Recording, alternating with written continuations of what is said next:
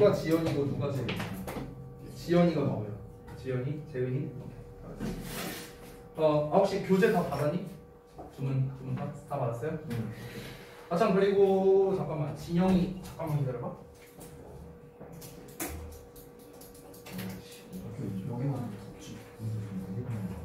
진영이 그 답지 없었잖아. 그래서 답지 뽑아놨거든. 어. 자 일단 1일 테스트 결과부터 보자. 자 한번 보여주세요. 22분 자 편하 받아. 봐봐. 어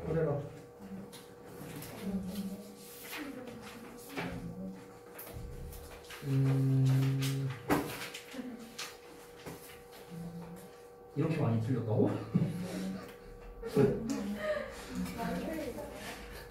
아니 아니 아니 아 여기서 이제 세 어, 개가 다 어. 틀린 게 어.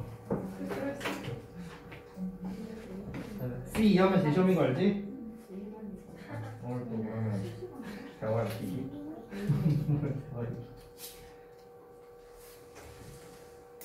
근데 이거 왜 OX를 표시 안 했어?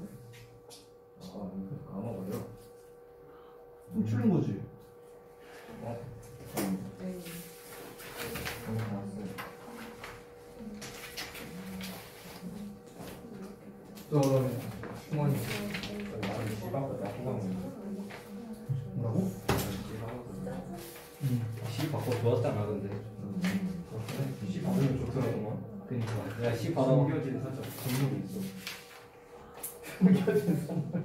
시크릿이야 C가 근데 좋더라고 모바일인가? 근데 이거 맞은 거 이게 저기세 이거 너무나 당연한 거 아니야? 당연히 근데 너무나 당연한 거를 왜 틀렸어? 이건 별로 당연하지 않았어요 아니 그 당연하게 기준이 뭔데? 뒤에 목적 없으니까 S, B, S도 써야지. 너무나 당연한 거 아니야? 아니 그 이거는 되게 이것보다는 되게 당연한 거 아니야? 이거 완전 당연한데? 수도 문제는 모르겠지만 스테이지 형용사 와야 된다는 건 수동성이잖아 수험이 돼서 하나 결정 그게 벌써 아 네.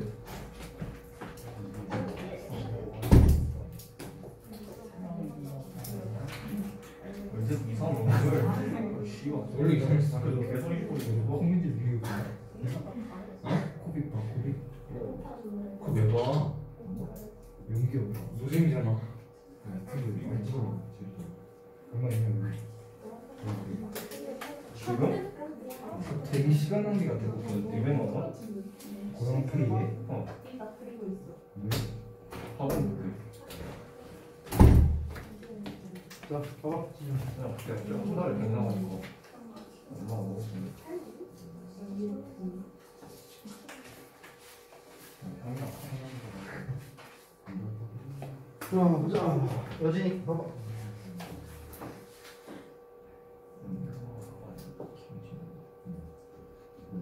그다음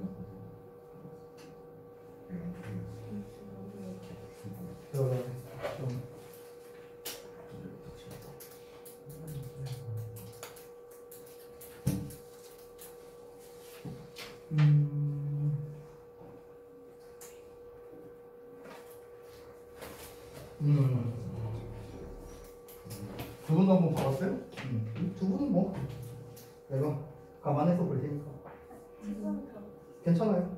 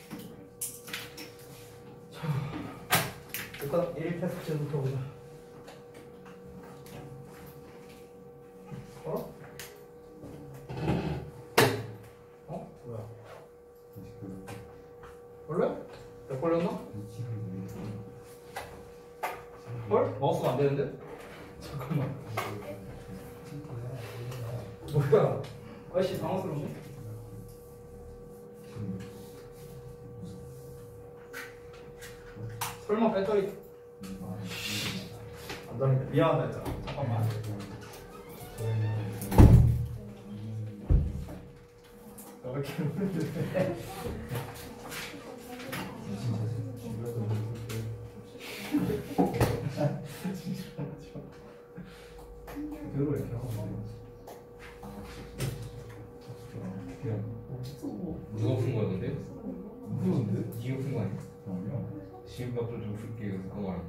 아 그래? 응. 하면 저 아니야? 아, 근데 이게 되게 그 승원이 민지 옆에 앉아 있을 때 그때는 되게 이런 스타일 아닌, 아닌 것 개씨 찐 같은데. 그냥 아무 아니 지금도 개찐다 같아 그때 정선에 있을 때 있을 때 단어 이상하게 주사해가 아직도 기억. 진짜 옆에 앉아있을 때 정말 뭐 그냥 인자 동글동글 그랬지. 아 민지 친구구나 그런 생각 들어 친구가 진짜 찢었어. 지금은 선우가 이 생각 좋아하지.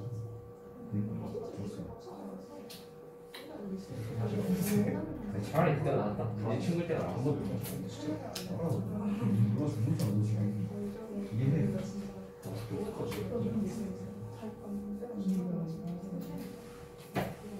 내 이상한 거좀 배워보고 싶어. 독서실 가서 그런 거 있어.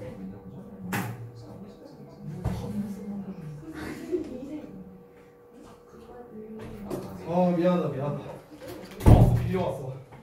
아씨 또 이런 적은 또 처음이네. 아.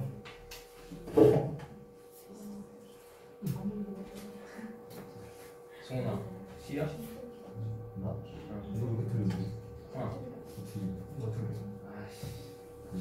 받아야지 왜? 시크릿 이거. 그게 그게 그렇게 한 거야. 아 네가 말한 셔터 아니냐? 아이 시끄럽고 자 앞에 봅시다. 이씨 왜 이거? 어 지원 쌤 마우스 별로 안 좋은 거 주실 것 같은데. 아, 아유 오늘따라 이렇게 되게 우여곡절이 많네 수업에.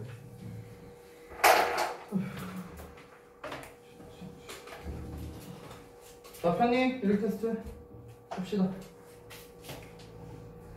자, 첫 번째부터 볼게. 일단은 여기에서는 어법상 어색한 부분이 없다라고 되어 있었는데, 어, 어법적으로 포인트를 좀 잡아야 될 것들을 썼어요. 이제 이 어법 포인트를 잡는 거는 얘들아 정답이랄 거는 없어. 정답이랄 건 없는데, 어, 선생님이 써놓은 이 포인트들이 사실 실제 시험에서 좀 출제될 수 있는 거라고 너네가 좀 생각을 했으면 좋겠다. 그러니까 어, 사실 이번 이 문제 트렌드를 제가 최근에 바꿨잖아요. OS 버전으로. 그래서 바꾸면서 이제 내가 어, 여러분이 좀 아셨으면 좋은 게 뭐냐면은 이 문장에서 어법 문제를 낸다면 어느 것을 낼 수 있을까라는 이 출제자의 시선을 좀 갖기를 원했어, 너네가. 어, 이거를 니네가 좀 많은 연습을 통해서 얻게 되면은 사실 변형에 대한 포인트가 이제 니네 눈에도 보이게 될 거예요. 그러니까 니네가 이제 뭐 가령 내신 대비 수업을 받아. 그럼 이제 선생님이 이제 뭐 이렇게 설명을 하시겠지 앞에서 그러면 이제 너네가 지문 같은 걸 읽다 보면은 그 눈이 생겨요 어? 이 부분에서 어법 문제 낼만하네? 이렇게 낼만하네? 저렇게 낼만하네 이런 식으로 이제 니네가 그 어떤 출제의 이제 범위가 넓어지기 때문에 어 이제 학, 어, 학원에서 굳이 변형 문제를 물론 주겠지만 안 준다 하더라도 니네가 변형에 대한 학습이 자연스럽게 이루어질 수 있다 그래서 너네가 요거를 좀 연습을 해보면은 좀 좋을 것 같다는 차원에서 요 문제를 내고 있는 거야 자 그래서 첫 번째 것부터 볼게. 일단은 stored가 뭐 낼만하다라고 했는데 뭐 사실 난이도는 되게 낮아요. 여기에서는 이제 분사구문이죠? 앞에 주어가 없고 의미상의 주어가 지금 브로콜리가 될 테니까 브로콜리 입장에서는 저장되는 거니까. 이제 stored가 맞겠고. 역시나 뒤에 어, 목적어가 안 나왔으니까 pp형을 쓰는 게 맞겠죠. 뭐 요런 거 그 다음에 두 번째. 어, 스테이지에 이제 형용사 보호가 온다는 거? 뭐 사실 너무나도 당연한 거고 쉽긴 하지만 우리가 문장 구조가 어떻게 되느냐에 따라서 얼마든지 출제를 할 수 있는 녀석이다. 어, 가령 이제 여기에서 단순히 얘는 stay fresh라고 나왔지만 요 사이에 부사 같은 거 하나 집어넣으면서 이제 문제를 조금 꼬아서 낼 수도 있기 때문에 항상 여러분이 이런 점까지 기억을 좀 잘해줬으면 좋겠고 어, 그 다음에 세 번째는 역시나 이제 스위치 관련된 거겠지 여기서 the best way가 이제 주어이기 때문에 그 사이에 있는 거는 앞에 나와 있는 way를 수- 어, 꾸며주는 수식어이니까 이 동사가 이 여기에 나와 있다는 거 그래서 주어가 어, 앞에 있고 동사가 뒤에 있고 지금처럼 주어 동사 사이가 이제 멀리 나왔을 때 항상 너네가 속지 말고 사이에 어, 수식어 이 구문 분석을 잘해야 풀 수 있는 문제다라는 거를 좀 인지했으면 좋겠다. 어, 그 다음에 미안하다 오늘따라 목이 이렇게 칼칼하네.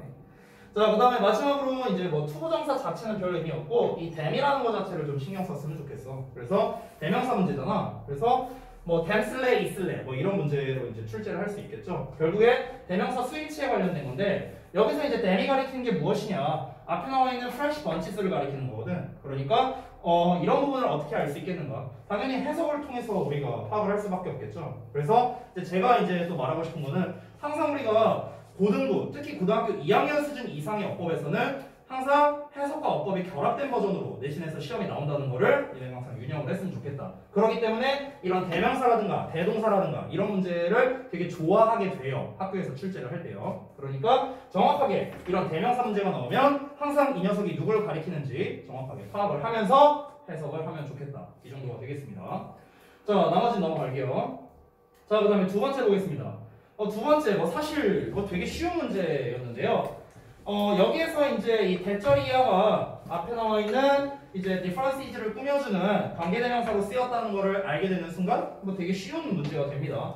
어, 지금 뒤에 나와 있는 develop이 이제 동사이기 때문에 이 지금 여기는 누가 보더라도 형용사가 들어갈 수 있는 자리는 아니라는 거죠. 뭐 보어가 될 수도 없고 그렇다고 꾸며주는 명사가 뭐 나올 수도 없고 그렇죠? 따라서 여기 나와 있는 develop이라는 동사를 수식하는 부사로 쓰여야겠죠. 그래서 inevitably 밖에 안 된다라는 점. 어, 요 정도를 제외하고 나머지에서 이제 어법으로 낼 만한 포인트, 어, 포인트가 뭐가 있을까 하고 봤을 때 뭐 사실 딱히 없어요. develop이나 inevitable이나 아니면 that 요 세 가지. 그러니까 시험에 낼 만한 게 하나, 둘, 셋. 요 정도밖에 없어요. 나머지는 뭐 딱히 출제할 만한 포인트가 어, 그다지 있지는 않습니다. that이라면 역시나 이제 관계사에 관련된 거니까 뭐 that 쓸래 what 쓸래 뭐 이런 문제로 낼 수도 있겠죠.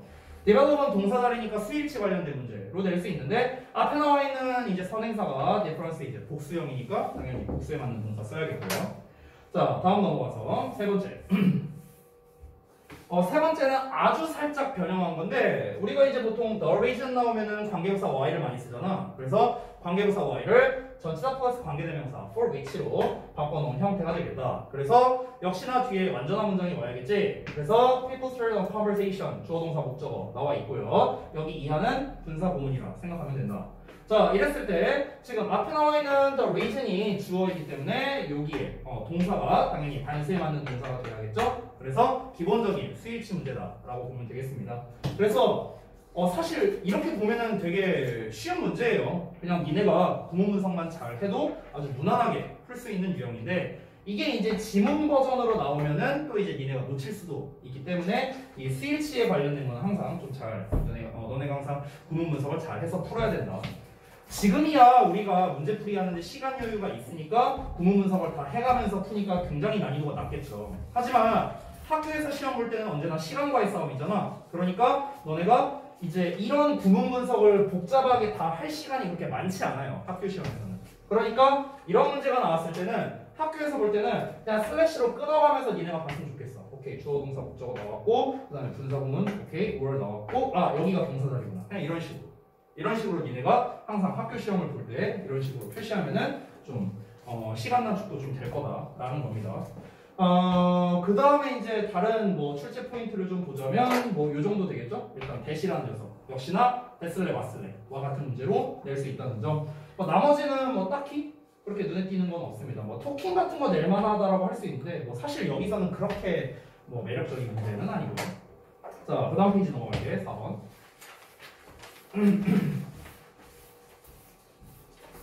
어, 4번 같은 경우는 일단 눈에 띄는 게 문장 맨 앞에 only 이제 도치 구문이 나왔다는 거야. 그래서 only 다음에 이제 시간의 부사구가 나와 있지. 그러면 주절에 주어 동사가 도치가 일어나야겠죠. 그렇죠? 자, 도치시킬 때는 의문문 도치라고 제가 몇 번 얘기했었습니다. 의문문을 만드는 것처럼 도치시켜라. 그래서 food has become이라고 원래 어순으로 나와 있기 때문에 의문문 만드는 것처럼 has food become이라는 형태가 돼야 된다. 의문문 만들듯이 주절 부분이 변하는 거다라고 얘기를 했었습니다. 자, 복습할 게 하나 있는데 지난번에 쌤이 이 only라는 녀석이 문두에 나왔을 때, 즉 준부정어가 이렇게 문두에 나왔을 때 only라는 놈은 보통 only when이나 only after나 이런 녀석과 되게 잘 어울린다고 얘기했었지. 기억나요? 자, 그러면 이 when 또는 after도 절을 이끌 수 있잖아. 주어 동사가 나올 수 있잖아. 그러면은 이 when절과 after 절에서는 도치가 일어나지 않는다라고 내가 얘기를 했었어.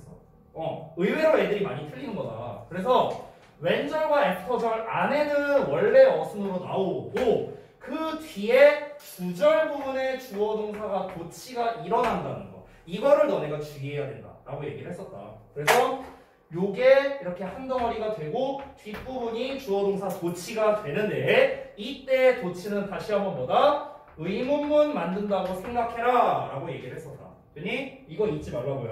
어법뿐만 아니라 영장 문제에서도 우리가 자주 실수하는 부분 중 하나가 바로 이런 도치 잘못 시키는 거 이런 걸로 이제 틀리는 경우가 상당히 많이 있으니까 여러분 잊지 말고요.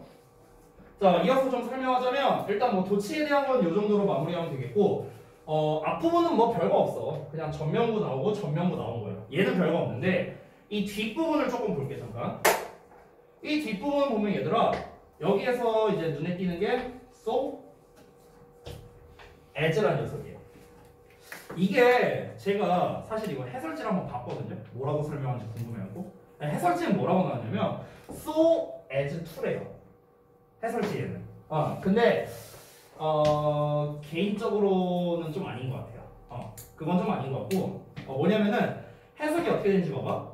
이 해석 여기 한글 부분 읽어도 되거든. 여기 보면은 지방과 연관된 건강 문제를 야기할 만큼 이렇게 나와 있어. 그러니까 지방과 연관된 건강 문제를 야기할 만큼 이렇게 되는 거죠. 뭐뭐 할 만큼이라고 해석되네 그러면 야기할 만큼 음식이 풍부해지고 구하기 쉬워졌다 이렇게 나와 있습니다. 그래서 그 이제 해설지를 보면은 so as to가 뭐뭐 하기 아 뭐뭐 할 만큼 뭐뭐 한 이렇게 나와 있어. 그러니까 마치 enough to 해석하는 거와 좀 비슷하게 이렇게 해설지에 나와 있거든. 근데 어, 사실 쌤 개인적인 생각으로는 그냥 이거는 저는 어, 에즈원급 에즈 부분에 조금 더 가까운 것 같다라는 생각이 좀 들어요 개인적으로 이거를 무슨 뭐 so as to 해갖고 무슨 뭐 뭐뭐 할 만큼 뭐뭐한 이렇게 좀 암기하는 거는 좀 나는 낭비인 것 같고요 낭비인 것 같고 애초에 as라는 것 자체가 뭐뭐만큼이란 뜻이 있잖아 애초에 그리고 여기에서 지금 원래 우리 원래 어법으로 접근해보자 원래 어법으로 접근하면은 전치사 뒤에는 투부정사를 쓸 수가 없어요. 니네가 알다시피. 근데 딱 하나 가능한 경우가 있어. 전치사인데도 불구하고 뒤에 투부정사를 쓸 수 있는 경우가 뭐냐면 비교 구문에서의 병렬 구조야. 비교 구문에서의 병렬 구조. 그러니까 우리가 가령 뭐 as 원급 as라던가 또는 뭐 비교급의 than이라던가 이런 애들이 있잖아. 그렇지? 이런 비교 구문들. 비교 구문은 가장 기본이 되는 게 앞뒤가 병렬 구조라는 거죠. 병렬 구조. 그렇지? 그러면 요 자리에 투부정사를 썼다면 요 자리에 투부정사 써도 돼요. 똑같이. 오케이? 그러니까 이런 경우에는 비록 전치사로 쓰였지만 뒤에 투부정사를 쓰는 게 가능하다라는 거죠. 됐니? 그러니까 이런 것처럼 어, 우리가 어, 이런 병렬 구조에서는 이제 투부정사 쓰는 게 가능하기 때문에 어, 쌤이 봤을 때는 그냥 as만큼 as 구문으로 보는 게 더 낫지 않나 뭐 개인적으로는 그런 생각이 듭니다. 그래서 이거를 야기할 만큼 뭔가 얻기에 너무나 plentiful하고 easy하다. 그냥 이 정도로 음, 해석을 하는 게 낫겠다. 이거를 막 so as to 해갖고 뭐 어떤 구문이다 이런 식으로는 그냥 암기를 안 했으면 좋겠어. 알겠죠? 그냥 as가 뭐 만큼이란 뜻만 알면은 쉽게 해결 가능하다. 자 다음 넘어갈게. 5번. 우씨 왜안 내려가? 자 이어서 5번 보면은 어, medical center reported that 어쩌고 저쩌고 저쩌고 저쩌고 저쩌고 틀린 부분이 없네요 여기는요 자 한번 봅시다 어, 일단 첫 번째 포인트는 뭐 대신데 여기에서의 대는 사실 뭐 그렇게 매력적인 어, 대는 아니에요 사실은 어, 그래서 뒷부분이 왜냐면 이 형식의 완전한 문장이니까 명사절 접속사 대를 써야겠죠 뭐 얘는 뭐 별거 없고 어, 요 녀석은 조금 의미가 있습니다. 자, 이건 어떤 거냐면 앞부분을 보면 a portion of라는 표현이 나와 있잖아. 그치? 이게 바로 뭐야? 부분을 나타내는 표현이었죠. 부분. 음. 이 부분을 나타내는 표현을 내가 어떤 개념으로 봐라? 비율 개념으로 봐라 이런 얘기 했었어. 기억나니? 지난 시간에 얘기했었는데. 그래서 여기서 비율 개념이라는 거는 일종의 뭐 퍼센트라든가 뭐 분수라든가 아니면 뭐 썸이라든가 most라든가 뭐 이런 것들. 중딩 때 배우는 단어는 뭐 이 정도가 되겠고 고딩 버전에서 이제 많이 나오는 단어가 이제 이런 거겠죠. majority 아니면 지금 나와 있는 뭐 portion 뭐 이런 단어들. 어. 이런 녀석들 뒤에 어, 전치사 of 나오고 그 뒤에 명사 나올 텐데 이때 수일치를 어디다 해라? 요 명사에 수일치를 하는 거다. 라는 겁니다. 어, 사실 자주 출제되는 유형은 아니에요. 그러니까 모의고사에서는 뭐 나름 의미가 있는 것 같아요. 근데 사실 내신에서 그렇게 자주 출제되는 유형이라 음, 그건 아닌 것 같습니다. 어, 제 생각에는요. 이 부분을 나타내는 표현, 즉 스위치에 관련된 문제를 만약 낼 거라면은 나는 딴 놈과 좀 섞어서 내는 게 의미 있다고 봐. 그러니까 딴 놈과 섞어낸다는 건 뭐냐면 예를 들어 우리 부사도치 있잖아. 부사도치나 부, 뭐 이제 부사구도치 이런 거 있잖아요. 그러니까 부사나 부사구를 이용해서 문장 앞에다가 장소나 부사에 관련된 이제 부사를 써놓고요. 그러면 이제 주어 동사 도치가 일어나죠. 그렇죠? 그럼 그랬을 때 그 주어 동사 스위치를 할 때 이런 놈을 이용하는 거야. 무슨 말인지 돼요? 그러니까 뭐 예를 들면 쉬운 버전으로 쓰면 이런 거야. 뭐 예를 들어 쓸래, were 쓸래 뭐 이런 식으로 문제를 내고 요 뒤에다가 이걸 이용한다는. 됐어요? 그러니까 뭐 이런 식으로 좀 다른 어법과 섞어서 내는 거라면 조금 의미가 있을 텐데 그냥 이렇게 생으로 내는 거는 사실 그렇게 난이도가 있는 문제는 아니다. 어, 이렇게 정리하면 되겠다. 그래서 어, 여기서는 당연히 patience에 이제 스위치를 해야 되니까 이제 여기에서 were라는 형태가 맞다라는 점. 어, 그 다음에 이제 또 신경 쓸게 요 부분. 이거는 실제로 니네 교재에도 나와 있는 거긴 한데 이게 나데이버비 구조예요. 자, 나데이버비를 딱 보면 니네가 떠올려야 되는 게 병렬 구조거든. 병렬 구조. 여기에서 니네가 착각할 수 있는 게 어, 쌤, 여기에 나와 있는 have랑 병렬 구조 아니에요? 그러면 여기 동사 원형 be 써야 되는 거 아닙니까? 어, 이런 얘기를 할 수도 있는데 어, 죄송하지만 말도 안 되는 소리입니다. 왜냐면 얘들아 우리가 언제부터 비동사 앞에다가 do를 썼어요? 우리가 언제부터 do be do be가 뭐야? 씨, 무슨 be도 아니고 말도 안 되지, 그렇지? 이게 아니라 그냥 원래 비동사를 써줘야겠지, 원래 비동사. 어, 그러니까 이 have랑 병렬이 아니라 엄밀히 따지면 did랑 병렬이라고 니네가 생각을 하면 되겠다. 그래서 어, 앞에 나와 있는 주어 이제 관계대명사의 이제 선행사가 people이니까 people에 맞는 어, 비동사 아, were를 쓰는 게 적절하겠다. 시제는 뭐 did니까 과거 일치, 과거 시제 일치 해주고요. 됐죠? 자, 그 다음에 6번 넘어갈게. 어, 원문에서는 요 부분이 시험에 나왔었어. Each wall of yours 이렇게 나왔었는데 요 부분이 이제 우리가 H는 이제 단수 취급하고 뒤에 이제 단수 명사 나온다. 뭐 누구나 다 알고 있는 거잖아. 그래서 이런 부분은 사실 어, 난이도가 너무 낮고요. 요 부분이 오히려 이제 저는 시험 내기에 좀 더 괜찮다고 해서 문제를 냈습니다. 자, 얘들아, 전형적인 능수동 관련된 문제인데 우리가 이 능수동에 대한 연습을 얼마나 많이 했냐? 진짜 지겹게 봤잖아, 그렇지? 근데 이 능수동 문제에서 어, 특히 이 모의고사에서 되게 좋아하는 단어들이 있어. 유난히 이제 모의고사에서 좋아하는 단어들이 있는데 그 중에 하나가 바로 저 ask라는 단어예요. ask. 또는 이런 단어 되게 좋아해. consider. ask, consider. 어, 또 뭐가 있을까? 뭐 예를 들어서 뭐 tell. 뭐 이런 단어들. 이런 단어 되게 좋아하거든 시험에서. 이런 단어를 왜 좋아하냐면 3, 4, 5 형식에서 혼용이 가능한 동사라는 거야.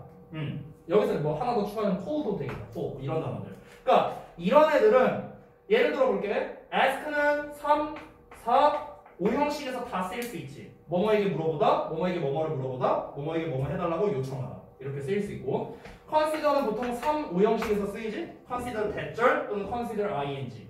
5 형식으로 쓰이면 목적어와 목적격 보고가 오겠고 tell 같은 경우는 이제 4, 5 형식에서 쓰이죠. tell 간목 직목. 직목 자리에 보통 대절 오고요.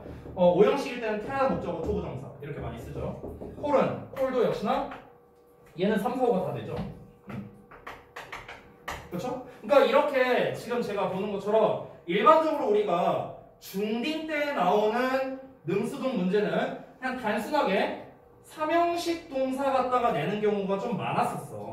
그때는. 그때는 막 그런 문제 나왔잖아. 뭐 능동태를 수동태로 바꾸고 수동태를 능동태로 바꾸고 막 이딴 문제 냈잖아. 근데 어 우리는 이제 레벨이 다르죠. 고2잖아, 고2. 그래서 능수동 문제를 낸다 하더라도 지금까지는 이제 고1 때까지는 단순히 뒤에 목적어가 오면 능동태, 목적어가 안 오면 수동태. 여기서 조금만 꼬아서 낸다면 자동사는 뒤에 목적어를 어차피 안 쓴다. 그래서 자동사는 수동태가 안 된다. 뭐 이 정도. 고1 때 나왔던 수준은 뭐 이 정도인데 여기에서 이제 고2 수준에서는 이런 단어들이 조금 많이 등장해요. 헷갈리게. 그러니까 우리가 예를 들어서 접속사가 나왔는데 분사구문을 쓰기 위해서 그냥 asked 또는 asking 이렇게 내버리는 거야. 이렇게 그냥 문제 내버리는 거야. asking 쓰라 asked 쓰라 이렇게 내버리는 거지. 그러고 난 다음에 뒤에 뭐 예를 들어서 뭘, 뭘 써놔. 막 명사 같은 거띡 하나 써놔. 그럼 이제 우리 입장에서 되게 헷갈려. 아 얘가 삼형식이어서 뒤에 목적어가 온 건가? 아닌가? 아 얘가 그 목적격 보어인가? 아 얘가 뭐 직접 목적어인가? 막 이런 이제 문제가 생긴다. 오케이? 그래서 이런 문제들이 이런 단어들이 나오면 보통은 해석해서 풀어야 되는 경우가 많아요. 그러니까 단순히 뒤에 목적어가 있으니까 뭐 능동이다, 뭐 목적어 없으니까 수동이다. 그러니까 이것만으로는 풀기가 조금 어렵다는 거지. 아까도 말했던 해석과 어법을 결합한 유형이라고 볼 수 있겠다. 자, 그런데 사실 여기에 나와 있는 이 ask는 어렵진 않은 거야.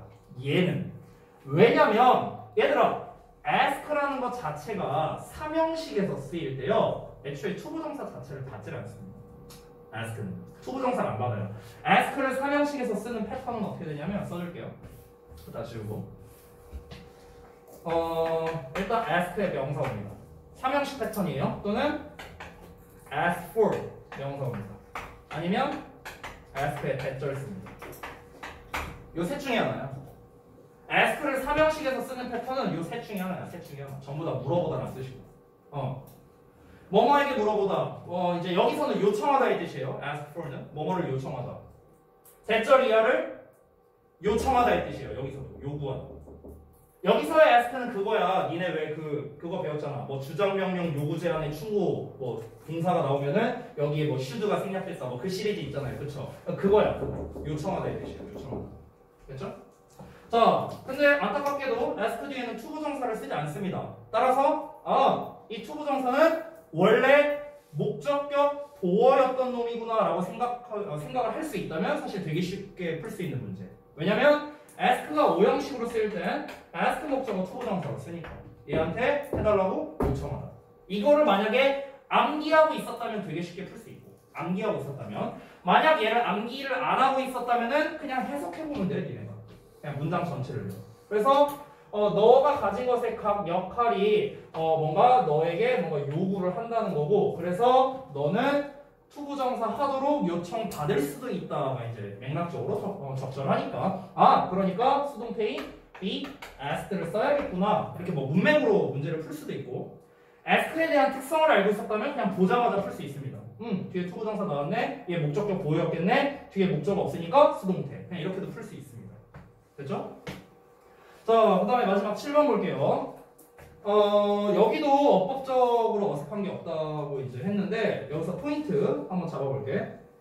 1번에 뭐 be allowed to는 뭐 사실 니네가 마치 숙어처럼 어, 외우는 녀석이잖아. 뭐뭐하도록 허용되다. 라는 뜻이니까 이 투부정사가 원래 얘랑 똑같은 거야, 얘. 이거 ask랑. 그러니까 ask 목적어 투부정사 쓰는 것처럼 여기서도 우리가 allow 목적어 투부정사를 쓰지. 그래서 수동태 되면서 be allowed to가 된다라는 점. 어 근데 사실 얘 때문에 내가 표시를 해놓은 건 아니고 사실은 이 participate라는 단어 때문에 이제 해놓은 건데 어 participate는 participate in 이게 항상 한 세트야. 뭐뭐에 참여하다 라는 뜻이고 participate 자체가 자동사거든 자동사?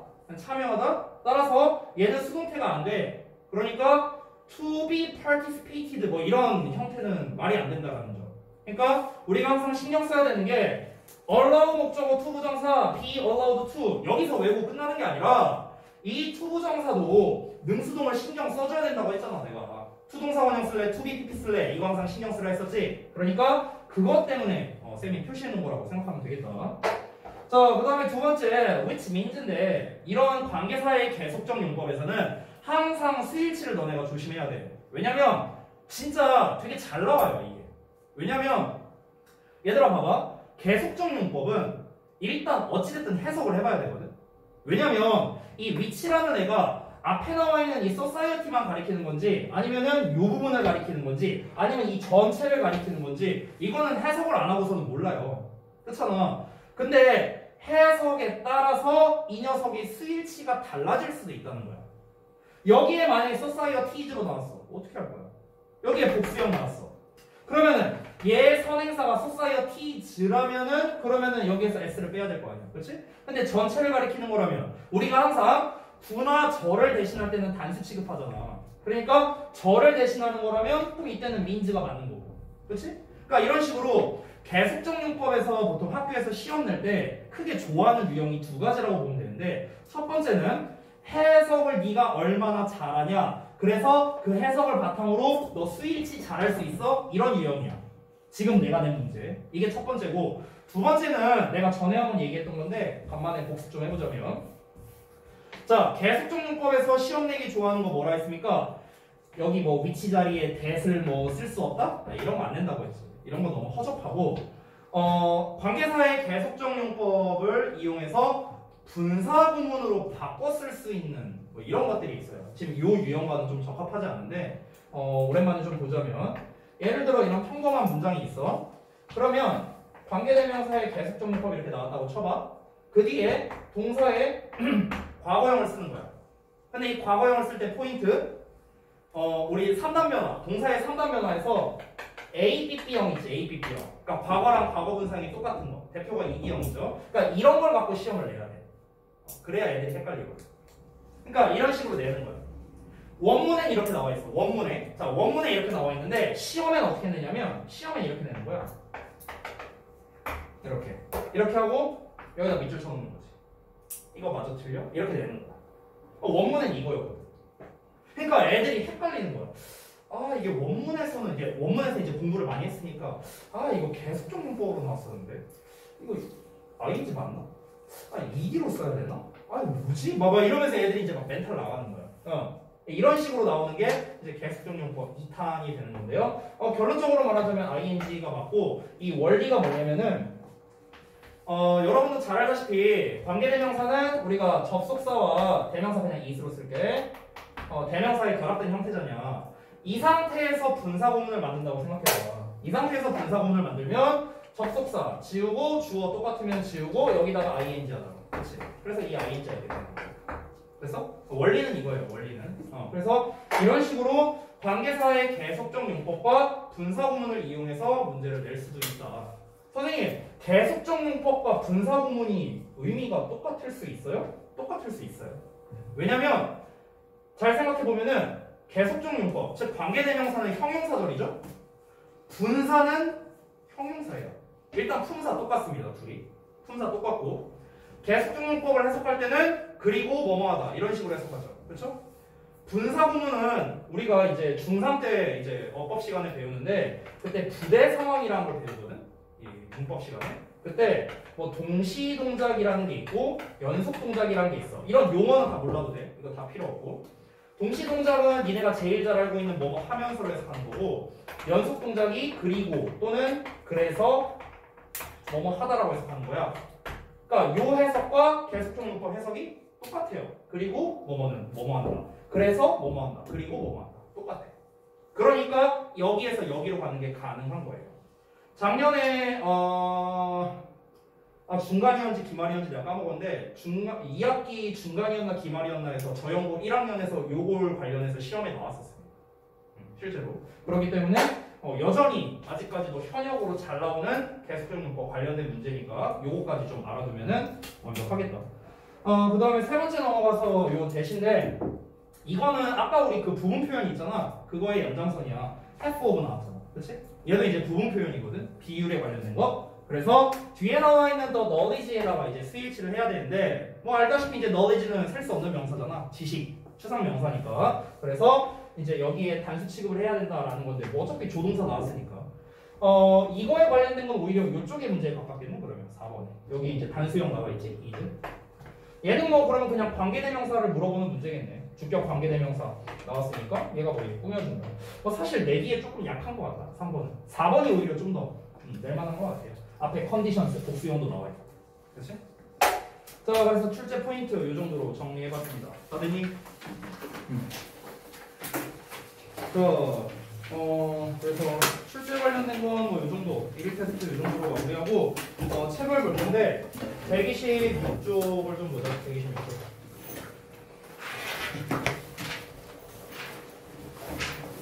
잠깐만. 아, 이거 마우스를 바꾸고 난 다음에 컴퓨터가 되게 느려진 것 같아. 오씨.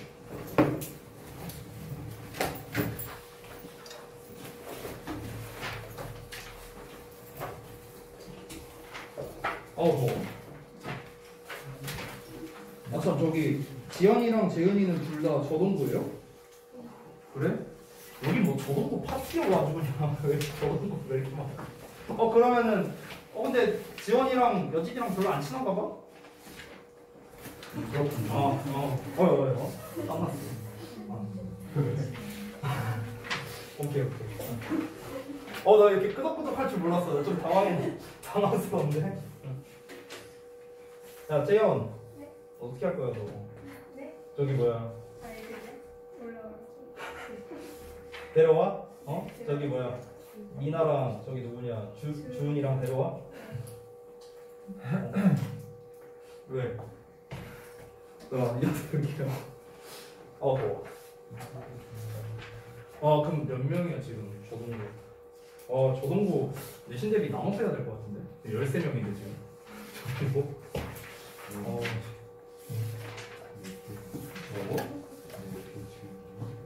자, 해 파트를 볼게요. 책은 126쪽입니다.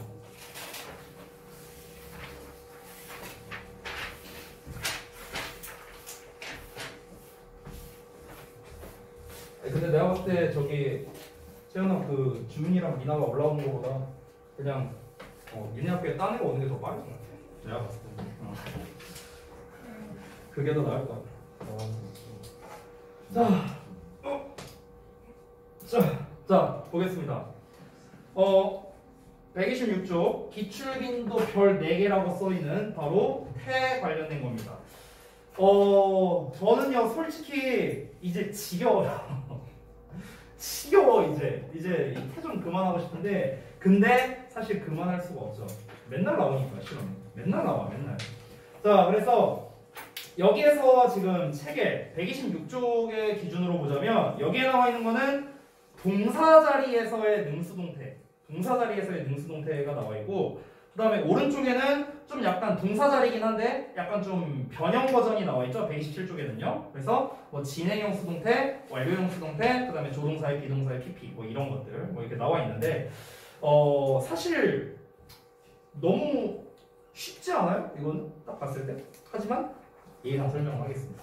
자 맨날 설명하는 능수동태 어, 능수동태에서 여러분이 이제 이 범위가 되게 넓거든요. 능수동태가. 그러니까 동사 버전에서의 능수동이 있고요. 준동사 버전에서의 능수동이 있어요. 그러니까 to부정사에서 이제 to 동사 원형 쓸래, to be PP 쓸래라던가 아니면은 뭐 이제 우리가 뭐 분사 구문에서 ing 쓸래, pp 쓸래 뭐 이것도 다 능수동 문제죠. 근데 일단 책에 나와 있는 거는 동사 버전이 기준이기 때문에 동사를 기준으로 능수동을 구분하는 어, 것을 다시 한번 알아보겠습니다. 동사 기준.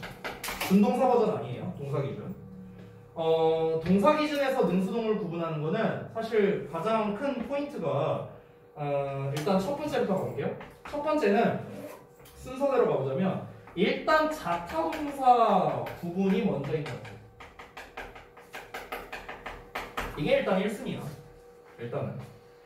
자동사가 나왔다면은 자타동사 구별할 필요가 없죠. 아, 쏘리. 자동사가 나왔다면은 능수동을 구별할 필요가 없죠. 그렇죠? 무조건 능동태가 정답이니까. 자동사는 수동태가 불가능하죠. 목적어가 없으니까.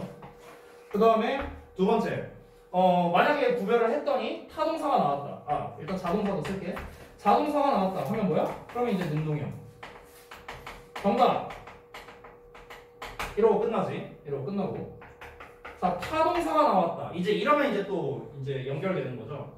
어, 타동사가 나왔으면은 이제 다음 단계죠. 다음 단계로 가볼게요. 어, 다음 단계에서는 이제 풀이법이 두 가지가 되겠죠. 첫 번째는 해석으로 푸는 거죠. 즉, 주어가 뭔가를 하는 거냐, 뭔가가 되는 거냐. 이게 이제 니네가 가장 잘 알고 있는 풀이법이죠. 이러면 능동이고 되는 거면 수동이고. 그렇죠? 그리고 여기서 더 나아가서 이제 우리가 어법을 활용해서 푸는 방법이 있죠. 즉, 어, 뒤에 어, 목적어가 있음. 그러니까 목적어가 있으면은 능동형, 목적어가 없으면 수동형이죠. 물론 예외는 있습니다. 예외는 뭡니까? 4형식이나 5형식 수동태가 좀 예외겠죠. 그렇죠. 음. 근데 아까 말했다시피 4, 5형식에서의 수동태 문제는요. 나오는 동사들이 좀 뻔해요. 아까 나왔던 뭐 ask라든가 뭐 tell, give, 뭐 consider 뭐 이런 단어들, call 뭐 이런 단어들이 좀 이제 시험에 웬만하면 많이 나오기 때문에 좀 뻔하다. 그래서 사실은 쌤 개인적인 생각인데 이거는 이 능수동 문제를 풀 때 진짜 빠르고 정확하게 푸는 방법이 있거든. 빠르고 정확하게. 내가 추천해주는 방법은 뭐냐면은 이 자동사 있잖아. 이거랑 그 다음에 이 여기에서 내가 예외라고 쓸게. 자리가 아 여기다 쓸게요. 자리가 없으니까. 예외적으로 이제 4, 5형식, 4, 5형식 동사 주의 이렇게 써놓을게요. 이 상태에서 이 4, 5형식 동사 있죠. 그러니까 얘랑 얘 있잖아. 그냥 외우는 게 나는 더 편한 것 같아. 어, 솔직히. 솔직히. 어. 문제풀이 할 때. 왜냐면 시험에 나오는 게 거의 정해져 있어, 얘네가. 정해져 있어. 거기 보면은 책에 126쪽에 보면은 자동사는 목적어를 취할 수 없다 나와 있잖아. 그치? 요거. 요 단어들이잖아. occur, happen, remain, arrive, seem, rise, result, appear, disappear, consist of 이런 단어 나와 있잖아. 그치? 아니, 이런 단어들이 거의 웬만하면 시험에 나온 단어가 이런 애들이야. 이런 애들. 어. 그러니까 그냥 이 단어를 외우는 게 어찌 보면 마음 편해. 그냥 얘네 외우고 얘네가 능수동 문제로 나왔어. 예를 들어 어, arrive 쓸래 아니면 be arrived 쓸래? 그러면 뭐 고민할 것도 없잖아. 1초면 풀 수 있잖아. 그냥 arrive 하고 그냥 끝내버릴 수 있으니까. 어, 그러니까 나는 너네가 자동사랑 그리고 4, 5형식 동사는 그냥 외웠으면 좋겠어. 자주 나오는 것들. 아, 나는 그게 더 나은 것 같아. 개인적인 생각으로는. 근데 어, 여기에서 응용되는 문제가 조금 있어요. 어. 그러니까 여러분이 항상 생각을 하셔야 되는 게 이 고등학교 2학년쯤부터 학교에서 어법 문제를 출제할 때는 단편적인 어법으로 잘 내지 않아요. 그러니까 단편적인 어법이라면 뭐냐면 단순히 지금 이런 것처럼 appeared에 밑줄 쳐놓고 뭐 얘가 appeared 써야 돼 아니면 뭐 is appeared 써야 돼 막 이런 문제 있잖아. 되게 단편적이잖아. 그냥 외우면 풀 수 있는 이런 문제들. 이런 문제를 별로 좋아하지 않거든. 내가 하나 기억나는 게 어, 이게 교재에서 나왔나 시험에서 나왔나 잘 기억은 안 나는데 이런 문제가 한번 나온 적이 있어. 어떤 거였냐면 주어가 나오고 emerge라는 단어가 나왔었거든. emerge가 뭐야? 나타나죠. 어, 나타나다 이런 뜻이지. 그렇지? 그럼 얘 무슨 동사인 것 같아? 자동사 타동사? 자동사야. 자동사야. 근데 이제 시험에서 어떻게 나왔냐면은 이렇게 되는 거야. 됐을래 왔을래. 이렇게 됐어. 이 뒤에. 그러고 난 다음에 뒤에 불완전한 문장을 썼어. 이렇게 나왔었어. 그러면 이제 대부분의 애들이 답을 뭐를 골랐냐면요. 왓을 골랐어요. 애들이. 왜 왓을 골랐게? 주어, 동사, 왓절이, 목적어. 어? 뒤에 불완전하네? 왔어야지. 이렇게 골랐다 다 틀렸거든. 실제 정답은 대시예요. 어. 자, 이제 성범이가 어, 왜 대시지? 이러고 있죠? 자, 왜 그러냐면은 지금 이런 문제는요, 되게 여러 가지가 섞인 거거든. 여러 가지가. 뭐가 섞인 거냐면, 어, 잘 봐봐. 얘는 사실 능수동과는 크게 상관없는 문제인데, 내가 지금 이제 그 어법이라는 게 고2쯤부터는 복합돼서 나온다는 걸 보여주기 위해서 이 샘플로 이 예문을 든 거야. 이게 뭐냐면은, emerge는 방금 어, 여러분이 말했다시피 자동사야, 자동사. 그럼 자동사니까 뒤에 목적어가 나와서도 안 되고, 수동태도 불가능해, 얘 자체가. 그렇지? 그러면은 여기에 나와 있는 이 대절의 정체는 뭔데? 관계대명사야. 얘를 꾸며주.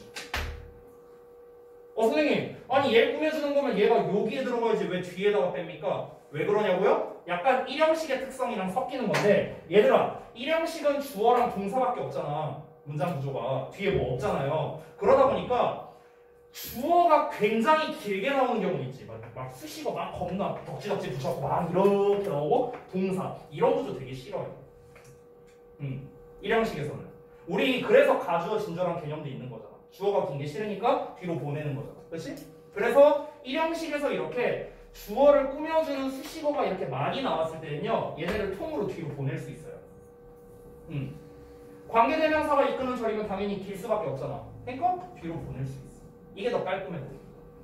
이러고 what으로 문제를 내는 거지. 그러면 지금 이 문제는 그냥 겉으로 봤을 때는 됐을래 왔을래 라는 평범한 문제처럼 보이지만 실제로 어떤 문제가 포함되어 있는 거야? 첫 번째 일단 대시냐 와시냐라는 문제 말 그대로. 두 번째 emerge라는 단어의 특성을 알고 있는가 세 번째 이 녀석 이 관계대명사 대절이 이렇게 이 일형식 구조에서 뒤로 갈 수 있다는 특징을 알고 있는가 이런 게 다 포함되어 있는 문제라는 거지. 그래서 그러니까 내가 말하고 싶은 건 뭐냐면 고등부 어법은 그렇게 단순하게 내지 않는다라는 거예요. 복합적으로 낸다는 거지 복합적으로 여러 가지가 복합되어 있는 문제죠 되게 심플하죠 그렇지? 그러니까 이런 것처럼 얘네가 이 자타동사에 대해서 이, 이런 문제를 해결할 때 그래서 좋은 게 뭐냐면은 단어를 외워두면 오히려 그래서 편해져. 음. 그러니까 우리가 온갖 경우의 수를 막 이제 신경 쓰고 뭐하고 하다 보면 막 머리 터지고 그리고 이제 시간도 오래 걸리거든. 그래서 내가 봤을 때는 어느 정도까지 니네가 이 어, 어법 문제를 좀 잘 풀기 시작한다면 단어 특정 단어는 그냥 차라리 외워주는 게 오히려 더 문제 풀이에 도움이 많이 된다라는 걸 말하고 싶어서 요 얘기를 한 거야. 그치? 그 다음에 이제 뭐 진행형 수동태, 완료형 수동태, 조동사의 BPP 나왔는데 얘네에서 너네가 주의해야 될 거는 요 녀석이야. 완료형 수동태. 얘만 주의하면 돼. 진짜 내가 아직도 충격적인데 의외로 많이 틀려. 의외로. 얘네는 별로 안 틀려. 왜냐면 얘네는 일단 잘 나오지도 않아. 어법 문제로는. 어법 문제로 얘네 둘을 잘 내지는 않습니다. 근데 얘는 어법 문제로 낼 만 하거든. 왜냐면 어, 여기 좀 지울게. 어, 나는 아직도 충격적인 게 얘랑 얘를 섞어서 낸다? 얘랑 얘를 섞어서? 그래서 뭐 이렇게 나와 있어 예를 들어 어, 난 충격이었어. 예전에 한 친구가 이렇게 있었는데 여기 이게 밑줄이 쳐져 있었어. have appeared. 뒤에 뭐 since 막 어쩌고 나왔었어. 예를 들어서 이렇게 나왔다고 쳐봐. 근데 이게 뭐 3번인가에 나왔는데 예전에 고등학교 2학년 한 친구가 어법 문제가 나왔는데 이게 틀렸다라고 표시를 한 거야. 근데 내가 왜 틀렸냐라고 물어보니까 그 친구 하는 말이 뭔지 알아요? 쌤, appear는 자동사라서 수동태 안 되잖아요. 이렇게 말했어. 어, 난 충격이었어요. 이게 왜 수동태야? 여기 일이 나왔으니까요. 어. 어, 충격이었어. 어, 진짜 충격이었어. 아, 근데, 근데, 나는 몰랐는데, 아, 생각보다 그렇게 알고 있는 친구들이 많은 거야. 아, 저 정말 충격적이었어요. 고등학교 2학년, 3학년인데, 생각보다 그거를 잘 모르는 친구들이 많아서. 혹시나 해서 알려주는 거야. 이게 또 이제 승원이가 또 의외로 그런 거 잘 모르거든. 이제 이츠 이런 거 모르는 농담이야. 자, 그래서 보자면, 얘들아, 현재 완료해서, have pp 할 때 이 pp는 수동이 아니죠? 수동의 의미가 아니라 완료의 의미잖아. 완료의 의미. 그치? 여기가 수동의 의미고. 그렇잖아. 그러니까 이런 거 섞지 말자는 거야. have pp에서의 pp형은 수동이 아니다. 응. 그렇게 따지면 만약에 have pp에서 pp가 수동이라면 그럼 have be는 어떻게 가능하겠어? 아, B는 자동사인데 자동사인데 어떻게 수동이 되겠어? 말이 안 되죠. 그러니까 니네가 완료에서의 PP와 수동에서의 PP를 헷갈리지 않았으면 좋겠다. 이거를 많이 틀리는 게 어디냐면은 영작에서 그렇게 많이 틀려. 영작에서. 애들이 빈 같은 거를 빼야 되는데 쓰는 경우도 있고 반대로 써야 되는데 빼는 경우 이런 경우가 되게 많아요. 그러니까 얘는 사실 완료형 수동태는 어법도 어법인데 어, 영작에서 이제 좀 주의를 니네가 했으면 좋겠다. 알겠니? 응. 이 정도 짚고 넘어갈게. 자, 그 다음에 어, 쭉 넘어가서 어, 130페이지 보자. 130페이지. 어, 여기에 내가 말한 거. 자, 아까 내가 웬만하면은 그 자동사랑 얘네들을 외워주는 게 좋다 했잖아. 그 단어들이 나왔다. 여기. 얘네들이야, 얘네들. 어. 그리고 얘네들. 오, 지금 이 교재에서 단어 되게 잘 뽑았어요. 진짜 잘 나오는 애들만 모아놨거든. 진짜 잘 나오는 애들이야. 전부 다. Give, ask, tell, show, teach, offer, send, pay, lend. 여기에도 ask가 들어갑니다. 여기 여기 ask 빠졌네. 여기에도 ask 들어가요. 음. 아, tell도 들어갑니다. tell. 어, tell, ask 다 들어갑니다. 그런데 어, 제 생각인데요. 얘네에 비해서 ask와 tell은 조금 약해. 약하긴 해. 여기에서 call, name, elect 막 이런 애들 있잖아. 이런 애들이 왜 이제 오형식 시험에서 잘 나오냐면 얘네가 목적격 보어로 명사를 받기 때문에 그런 거야. 목적격 보어. 뭐뭐를 뭐뭐로 부르다. 뭐뭐에게 뭐뭐라고 이름 지어주다. 뭐뭐를 뭐뭐로 선출하다. 막 이런 뜻이잖아. 그러다 보니까 목적격 보어를 명사로 받으니까 수동태를 쓰면은 우리가 예를 들어서 뭐 만약에 ing pp 문제로 낸다고 쳐봐. calling 슬래, called 슬래 하고 나왔는데 뒤에 명사만 띡 하고 나왔어. 그럼 이제 여기서 헷갈릴 수 있는 거거든. 왜? 얘가 삼형식으로 쓰여서 목적어인 건지 오형식으로 쓰여서 목적격 보호였던 건지 그러니까 이런 식으로 이제 좀 헷갈리는 요소로 내기에 이런 단어들이 좋다는 거지. 됐어? 그리고 consider 우리 이제 뭐뭐를 뭐뭐로 여기다 시리즈 있잖아. 이 여기다 시리즈가 원래 consider만 있는 게 아니잖아요. 그렇죠? consider 말고 또 어떤 단어 있냐? 제일 잘 알고 있는 뭐 see나 아이고 see 뭐 view 이런 단어도 있고 또는 뭐 regard 뭐 이런 단어도 있죠. 음, 또 뭐가 있을까? 어, count 이런 단어도 있죠. 얘네가 다 뭐뭐를 뭐뭐로 여기다 시리즈인데 얘네에 비해서 consider가 잘 나오는 이유가 있는데 그게 뭐냐면은 어, consider는 목적격 보어 자리를 되게 다양하게 쓸 수 있어서 그래. 이 consider가 여기다 좀 쓸게. 이 consider는 목적어 쓰고 목적격 보어 쓸때이 자리에 명사도 되고 형용사도 되고 to부정사도 돼 심지어. consider는. 그리고 심지어 명사나 형용사 앞에 as를 써도 돼. 그러니까 쓸 수 있는 범주가 되게 넓단 말이야. 그래서 우리가 뭐 consider A as B 이렇게 하기도 하고 consider A, B 뭐 이렇게 하기도 하지. 다 맞는 말이야. 심지어 as 뒤에 형용사 어, 전치사 뒤에 형용사 온 거잖아. 근데 이게 어법상 어색한 게 아니야. 이것도 맞아 어, 그러니까 이 consider라는 게 얘네에 비해서는 좀 더 쓸 수 있는 범주가 넓기 때문에 그래서 이제 얘가 시험에 가장 잘 나오는 단어다. 보통은 이제 consider 갖고 시험에 낼 때는 어떻게 많이 내냐면 consider 자체를 시험에 낸다기보다는 이제 얘를 갖고 시험에 많이 내지. 이거는 니네가 부교재 풀 때도 아마 많이 봤었을 거야. 이제 consider를 수동태로 쓰면은 이제 be considered도 되고 얘 목적어가 앞으로 빠질 거 아니야. 그럼 남는 게 보어잖아, 보어. 그럼 요 자리에다가 이제 형용사 쓸래, 부사 쓸래 이런 문제로 되는 거지. 어, 이제 부교재에서 많이 나오고 고등학교 2학년에서 되게 좋아하는 어, 그런 유형이야. 그러니까 어, 정말 여기에서 단어 잘 뽑았거든. 그러니까 여기 있는 단어들 그냥 단어 혹시 뜻 모르는 거 있으면은 사전 찾아서 뜻 써놓고요. 어, 니네가 그냥 여기 있는 뜻 아, 외우는 게 난더 어, 능수능 문제 풀 때 더 좋은 거 같아. 알겠지? 그래서 그냥 암기로 그냥 퉁쳐버리자고 암기로.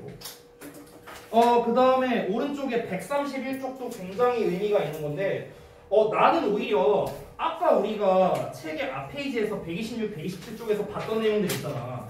나는 걔네보다는 131쪽이 훨씬 중요하다고 생각해. 여기가 훨씬 중요해. 아, 차라리 여기다가 뭐 별표 같은 거 표시해놔라. 난 훨씬 중요하다고 생각해.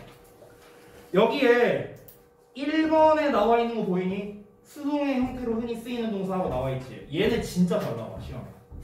2번, 아, 2번은 별로 안 나와. 2번은 별로 안 중요해. 1번은 근데 되게 중요해요.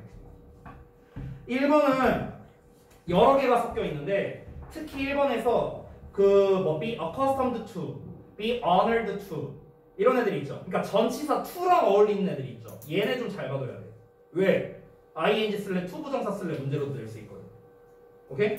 그러니까 이렇게 섞여서 나와. 얘네들은 이제 수동의 형태로 흔히 쓰이는 동사들이다. 그러니까 수동태로 썼을 때 더 자연스럽다. 그 시리즈를 이제 써놓은 건데 여기에서 특히나 어, 단순히 수동형뿐만 아니라 2D에 막 ing나 동사원형 막 이런 걸로 또 이제 혼동을 주는 문제를 낼 수도 있거든. 그래서 be accustomed to는 우리 그 be used to 있잖아. 걔랑 똑같은 뜻이야. be used to ing. 그러니까 잘 알아두시고 그다음에 be honored to 뭐 이런 것도 마찬가지고 어, 수동의 형태로 흔히 쓰이는 거는 아닌데 어, 걔네랑 좀 비슷한 시리즈가 이제 devote 같은 단어가 있지. devote. 아니면은 우리가 dedicate라고 하지. 그래서 devote A to B. 그래서 A를 B에 바치다, 헌신하다, 전념하다 뭐 이런 애들이잖아. 얘네는 사실 뭐 수동태로 많이 쓰이는 거는 아닌데 얘를 수동태로 쓰면 어떻게 되겠냐? A가 앞으로 빠지고 비동사에 devoted가 되겠지. dedicated는 안 쓸게. 그리고 to B 뭐 이렇게 나오겠지. 됐어? 근데 요 자리에 to가 전치사야, 전치사.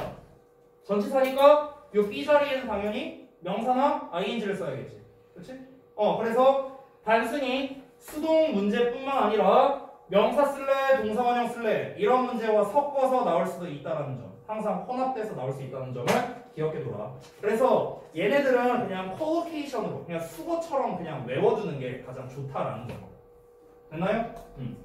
자, 이 정도로 정리하고 어, 한 35분 정도 남았네. 좀만 쉬었다 할까? 그래.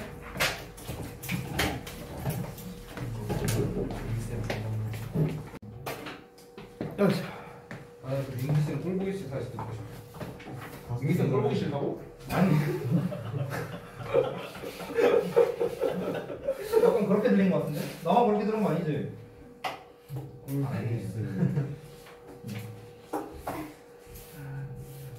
어차피 태윤아 네, 내신 데뷔 때 나랑 안 할 거잖아 그렇긴 한데요. 넌 이제 민재야 저 지금 야 그렇게 넌 따지면은 이제 민재야 얘는 얘는 지금 씨 1년 가까이 나한테만 하고 있는데 아, 근데 좋은가 보죠. 근데 어, 좋죠. 저도 좋죠. 좋은가 보지. 이제 나는 싫다. 이제 나는 싫은데. 아 이제 나는 나는 아 시끄럽고 다음 거 보자 나는 나. 132초 그렇게 뭐라 하지 마. 야, 루이스 얼마나 어? 아 예, 시끄럽고 자 132초 볼게 아, 어... 뭐 설명할 게 없는 놈인데? 얘는? 얘는 이제 유형만 조금 잡고 넘어갈게 그냥. 어 얘네 의미는 뭐 어차피 책에 다 나와 있고 니네가 기존에 알고 있는 거라고 나는 생각을 할게. 뭐뭐 한데 사용되다 뭐뭐 한데 익숙하다 아까 봤던 the accustomed to랑 이제 같은 뜻이지. 어 얘가 이제 시험에 나올 때는 지금 요런 버전으로는 시험에 잘 안 나온다고 생각하면 되겠다 즉 동사 자리에서는 잘안 나오고 이것도 여러 번 얘기했는데 어 얘는 이제 어, 관계대명사와 이제 믹스해서 좀 잘 나오지 관계대명사가. 그러니까 좀 구체적으로 말하면 이제 명사 하나 띵 나오고 관계대명사 예를 들어 위치 같은 걸 딱 썼어. 그러고 난 다음에 이제 비동사에 used 동사원형 쓸래 ing 쓸래 뭐 이런 식으로 이런 식으로 이제 출제가 된다는 거지 나와봤자. 그래서 요 덩어리가 앞에 있는 명사를 꾸며주잖아. 근데 이제 니네도 알다시피 주격 관계대명사와 비동사는 생략이 되잖아요. 그렇죠? 그러니까 요 버전으로 나오는 거예요. 이렇게. 이렇게. 그래서 이제 우리가 겉보기에는 어? 유스트만 나왔으니까 동사원형 써야 되는 건가? 뭐 이런 식으로 볼 수 있는데 실제로는 그게 아니라 어, 요 녀석이 앞에 있는 명사를 꾸며주기 때문에 어, 뭐뭐 하기 위해 사용되는 명사인지 뭐뭐 하는데 익숙한 명사인지 이제 해석으로 이제 구분을 해야겠죠. 그러면은 이 관계대명사와 믹스돼서 문제가 나왔을 때는 이제 우리가 어떻게 구분을 해야 되는가? 일단 여기가 동사 자리가 맞냐 아니냐를 니네가 먼저 판단해야겠지. 만약에 여기가 동사 자리라면은 고민할 필요 없잖아. 무조건 얘가 정답일 거야. 그렇지? used to ing라는 게 없으니까. 근데 여기가 동사 자리가 아니라 뒤에 동사가 나왔다면은 그러면 당연히 이제 아 여기에 주관대와 비동사가 생략돼 있구나. 그래서 be used to 동사원형 쓸까? be used to ing 쓸까? 이런 식으로 이제 문제를 접근을 하면 되겠죠. 그래서 이제 얘는 사실상 뭐냐? 어, 해석 문제예요. 해석 문제. 사실상. 됐어요? 그래서 이 정도로 넘어가면 될 것 같고 뭐 그 아래에 보면은 뭐 과거의 습관을 나타내는 우드니 뭐 이런 거 나왔는데 어법 문제로 적절하지는 않습니다. 얘는요.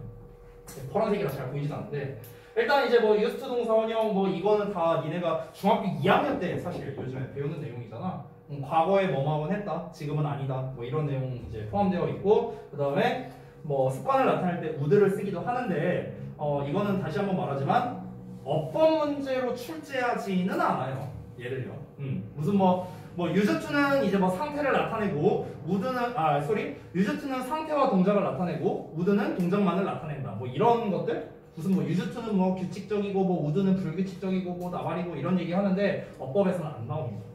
됐죠? 자, 그래서 132쪽까지 설명을 다 드렸습니다. 어, 유닛 10 같은 경우는 다음 시간에 이어서 할게요. 알겠죠? 자, 그래서 개념 설명은 이 정도에서 마치도록 하고 이제 그 여러분 문제풀이한 부분에 대해서 좀 개별적으로 생각을 좀 봐줄 건데 어, 일단은 우리 이제 신규생 두 마리 어, 우리 두 마리는 이제 앞부분에 그 문제풀이가 안 되어 있잖아요. 그래서 그 내가 잠깐만 몇 페이지부터 보거든요? 126? 오케이. 그러면 그 126쪽부터 이제 문제풀이를 할 건데 어떤 식으로 푸는지를 좀 보여줄 필요가 있으니까 그걸 좀 연습을 같이 해보죠. 자, 전원다 127쪽 펴보자. 127. 음.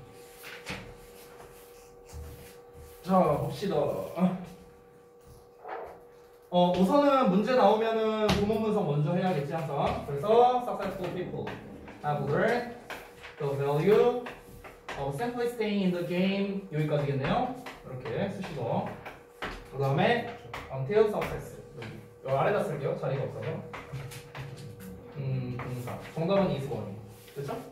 자, 이런 식으로 이제 될 텐데 어, 일단 구문 분석하고 문제 풀었죠? 그 다음에 이제 우리가 하는 게 뭡니까? 왜 is one이 정답인지에 대한 이유를 써야 되는데 자, 제가 이거는 공통적으로 하는 이유가 있습니다. 뭐냐면 수동, 능수동 관련된 문제 나왔을 때는 항상 니네가 이유를 두 가지를 써야 돼, 두 가지. 항상. 내가 매번 얘기하지만. 자, 첫 번째는 뭐냐? 왜 is one이라는 녀석을 써야 되는지 문맥적인 이유와 두 번째는 어법적인 이유. 내가 아까 두 가지로 나눠서 여기다 써줬었지. 여기서 일단 해석적인 이유. 그러니까 문맥상의 이유를 보자면 성공이 얻는 게 아니라 얻어지는 것이기 때문에 그런 거죠. 그렇죠? 이게 문맥상의 이유죠. 그리고 어법상의 이유는 어떻습니까? 뒤에 뭐가 없어? 목적어가 없기 때문에 그런 거죠. 그렇죠? 이게 이유죠. 이 두 가지를 여러분이 항상 다 써줘야 된다는 거야. 이 능수동 관련된 문제 나왔을 때. 그렇지? 그래서 구문문서, 문제풀이, 어법상의 이유까지 이렇게 작성을 해주면 된다. 항상 이게 한 세트라고 보시면 돼요. 두 분은요. 잘 아시겠죠? 음. 자, 그래서 이런 식으로 해갖고 우리 저기 뭐야 지연이랑 재은이는 어, 문제를 한번 쭉 풀어보시고 잘 모르는 부분이나 이 이유를 쓰는 게 조금 애매한 부분이 있으면은 체크해두고 이제 페이지를 접어두시면 돼요. 알겠지? 자, 이렇게 하고 나머지 분들은 문제 풀어온 거 개별 첨삭 좀 해줄게.